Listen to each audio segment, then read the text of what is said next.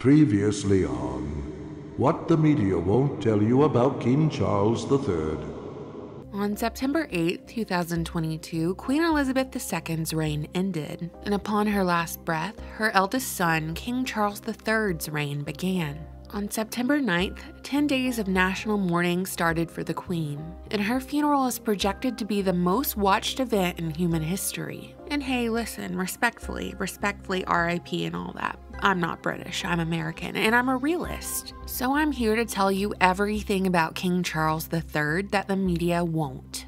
Because I assure you, even if you're not under the shadow of the crown, his rule will still affect you. And after you hear what I'm about to say, I want you to tell me something. Should this guy have the ability to shape policies across the world? Should he even be taken seriously?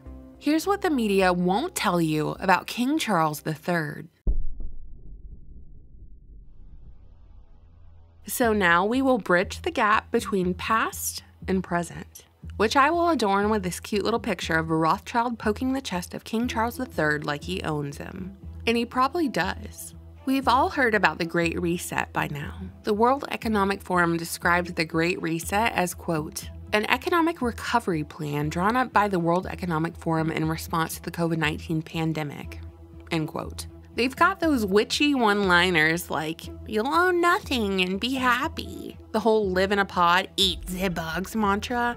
But the media has gaslit everyone who questioned it, calling them conspiracy theorists. But did you know that it was actually Charles's Twitter account who marked the launch of the Great Reset? They even had like a cute little graphic for his quote. As we move from the rescue to recovery from COVID 19, therefore, we have a unique but rapidly shrinking window of opportunity to learn lessons and reset ourselves on a more sustainable path. It is an opportunity we have never had before and may never have again. We must use all the leaders we have at our disposal, knowing that each and every one of us has a vital role to play. End quote. His Twitter account even tagged the World Economic Forum. Since 2020, Charles has regularly promoted the Great Reset and the World Economic Forum's globalist agenda. The Transnational Institute has referred to the WEF's Great Reset as a silent global coup d'etat to capture world dominance. People like Charles promote these agendas through what they label as philanthropy and altruism. So, just so we're clear, the Great Reset wasn't launched by Bill Gates or Klaus Schwab or Fauci or Stacey Abrams or whoever. It was launched by Charles, Prince of Wales at the time. Problem, reaction, solution, every single time. Problem, COVID pandemic and forced lockdown. Reaction Economic instability worldwide. Solution The Great Reset. The Great Reset priorities include a fourth industrial revolution of automation, further merging technology and humanity, track, trace, and resolve for products on the blockchain, track and trace being a phrase that became popularized through lockdowns and surveillance of individuals to quote, stop the spread, furthering the Go Green initiatives, which sound fine on paper, but it takes a sinister tone in practice. The WEF's eight predictions of the world in 2030, published before any of this COVID stuff happened, are as follows. And make no mistake, these are predictions, predictions, quote, air quote, because they intend to make them happen. Number one, you'll own nothing and be happy. Whatever you want, you'll rent and it'll be delivered by drone. You don't even have to leave your house. Number two, the US won't be the leading superpower. A handful of countries will dominate. So they will push for the fall of America. Our country will suffer, which you're seeing happen as we speak. Number three, you won't die waiting for an organ donor because there won't be organ transplants because they'll be printed. Subtext, what they're not saying is we'll probably have artificial wombs being commonplace by then too for our slave society. But if you want an organ, you better you better not be talking smack about the WEF on Twitter or have a good social credit score or whatever. Anyway, number four, you'll eat as you'll eat much less meat because the WEF says that meat farming isn't good for the environment and it's bad for our health. Number five, a billion people will be displaced by climate change, so there's going to be a ton of refugees invading your country and your hometowns. By the way, just see how well that's going for Europe. Guarantee no refugees go to Israel.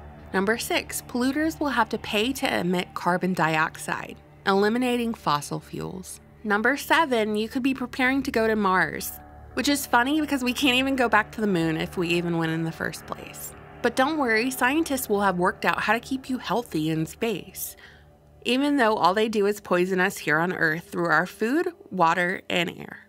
Then at the very end, the WEF hints at aliens, which, who I think, I mean, some of us might pay to abduct us at this point to escape this prison planet.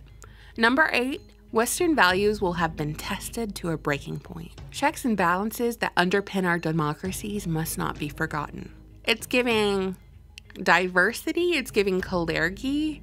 Am I allowed to say that on here? Not sure. But anyway, that concludes our predictions. So Charles has signed on to all these predictions and he's going to make sure they're fulfilled. This old cuss marked the launch of it.